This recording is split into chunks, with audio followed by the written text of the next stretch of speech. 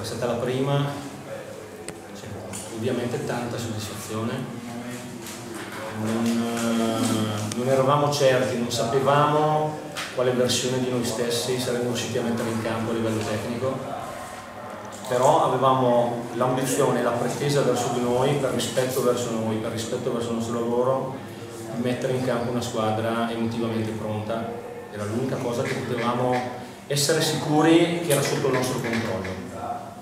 Siamo riusciti a farlo, i ragazzi sono stati veramente bravi in questo, abbiamo superato un paio di momenti difficili, uno soprattutto nel secondo quarto, una squadra ancora non quadrata, ancora non rodata come la nostra, che si allena insieme da una settimana e quindi visto che ho vinto non lo sto usando come alibi.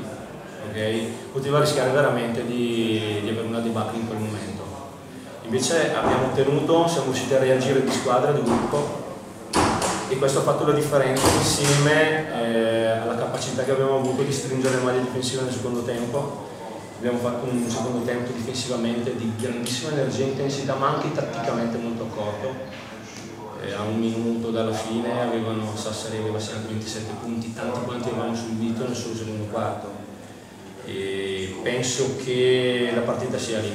La reazione del secondo quarto la capacità di eh, focalizzarsi su una parte del gioco che era quella difensiva offensivamente diciamo che l'avere continuità nel mettere la palla vicino a canestro con fiducia ai nostri lunghi sia per le loro conclusioni ma anche per poi trovare conclusioni con gli esterni ma soprattutto per non dare modo a Sassari di con continuità mettere pressione ai nostri esterni ecco offensivamente è stata la, la cosa che più ci ha aiutato diciamo.